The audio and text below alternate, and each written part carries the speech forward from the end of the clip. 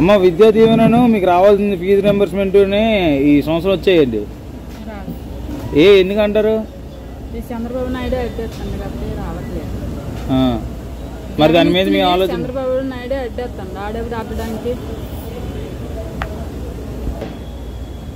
ఆడు కొడుకు మంట పడ్డాక చేస్తాడు అది చంద్రబాబు నాయుడు. వాళ్ళ అమ్మ కూడా నా వాళ్ళ అమ్మ కూడా వాళ్ళ ఇంట్లో దిక్చేస్తాడు ఆడెవడు జగన్ ఇస్తాడు మాకు. జగనే మమ్మల్ని చూస్తాడు బాగా. మా పిల్లలు లేని మమ్మల్ని లేని. ఈ చంద్రబాబు నాయుడు ఎప్పుడు అడ్డుకున్నాడు ఈ పథకాలేను చంద్రబాబు నాయుడుకి మరి ఓటు వేయక్కర్లేదు. జగన్కి వేయవాలి. జగన్కి గెలాలి. జగనానికి పదమూడు తారీఖున ఓటు వేసి ముఖ్యమంత్రిని చేయి జగనాన్ని చేయవాలి. చంద్రబాబు నాయుడు ఓడించాలి మనదాకా ముసలి అడ్డుకున్నాడు పెన్షన్. ఇప్పుడు మా కొడుకు పడ్డానికి అడ్డుకుంటడా అడవుడు జగన్ముట్టిగా అడ్డుకు జగన్ముట్టికి గెలాలి.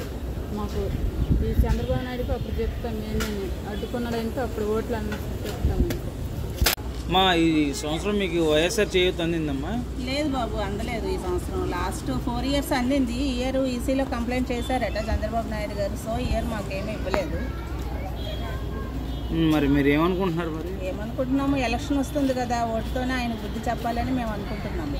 మరి ప్రజలకు ఇలా అడ్డుపడుతున్నారు కదా ఏంటి అసలు ప్రజలు ఖచ్చితంగా బుద్ధి చెప్తారంటారా? చెప్తారని అనుకుంటున్నాను. ఎందుకంటే అవ్వాతాతల ఫంక్షన్ మీద పడ్డారు లాస్ట్ టైం ఇప్పుడు విద్యా దీవెన వీటన్నిటికి కూడా మాకు ఇబ్బంది అయ్యేటట్టుగా అనిపిస్తుంది అనమాట సో మేము మరి ఓటుతోనే ఆయనకు బుద్ధి చెప్పాలని మేము డిసైడ్ అయ్యాము ఓకే థ్యాంక్ యూ. వచ్చే ఎలక్షన్స్.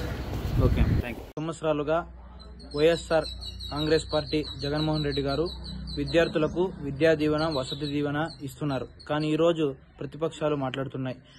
డబ్బులు లేక ప్రభుత్వంతో ఇవ్వట్లేదు అని. జగన్మోహన్ రెడ్డి గారు ఈసీ గారికి లెటర్ పెట్టారు. మేము ఇప్పుడే ఇవి కొత్తగా మేము పథకాలు ఇవ్వట్లేదు. నాలుగు సంవత్సరాల నుండి విద్యా దీవెన వసతి దీవెన చేయుత వైఎస్ఆర్ ఆసరా ఇవన్నీ ఇస్తున్నామని.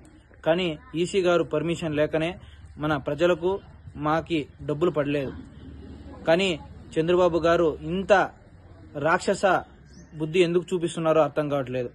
చివరికి విద్యార్థుల పైన కూడా మేము చదువుకోలేని పరిస్థితుల్లో మమ్మల్ని చదివిపిస్తున్న జగన్మోహన్ రెడ్డి గారికి మోసం చేస్తూ మాలాంటి విద్యార్థులకు ఎంతో మోసం చేస్తున్నారు తన రాజకీయం కోసం.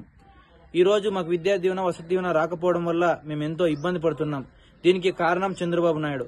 కాబట్టి ఈసారి యువత అంతా చంద్రబాబు గారు ఇలాంటి బుద్ధులు ఉన్నాయని చూసిన తర్వాత మేము కంపల్సరీ ఈ రాబోయే ఎన్నికల్లో మే పదమూడవ తేదీన వైఎస్ఆర్ కాంగ్రెస్ పార్టీ పై మద్దతు ఉండి యువత విద్యార్థులందరూ కలిసికట్టుగా జగన్మోహన్ రెడ్డి గారిని రెండోసారి ముఖ్యమంత్రి గారిని చేసుకుంటాం. ఎందుకంటే ఇలాంటి రాక్షస బుద్ధిని చూపిస్తూ ప్రజల సంక్షేమం మేలు అవసరం లేదు. అతనికి అధికారం మాత్రమే కావాలి. కాబట్టి అలాంటి మా చంద్రబాబు వద్దు. మా పేదవాళ్ళైన మమ్మల్ని బాగా చూసుకునే జగన్మోహన్ రెడ్డి గారికే మా మద్దతు. అవి మీ పిల్లలకి విద్యా దీవెన పడిందా? పడ్డది బాబు. నాలుగు సంవత్సరాలు పడ్డది ఈ సంవత్సరం మీద పడలేదు బాబు. చంద్రబాబు నాయుడు వల్ల ఈసీకి కంప్లైంట్ పెట్టి ఆపినాడు బాబు ఈ సంవత్సరం ఆ మానటి పేదలు బతుకులు చెడగొట్టడం తయారేటు రాక్షసులాగా చంద్రబాబు నాయుడు.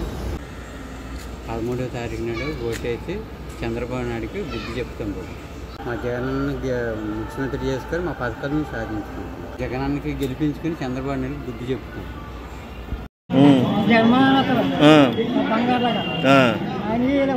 ఇంటిగా ఇంటికి వచ్చింది బాగుందా మీకు? పెన్షన్ ఇంటికి వస్తుంది కదా. మరి పది మళ్ళీ ఇంటికి తెచ్చిస్తా నాలుగు వేలు అంటున్నాడు. చంద్రబాబు నాయుడు వస్తే నాలుగు వేలు ఇస్తున్నాడు ఇవ్వడు కదా.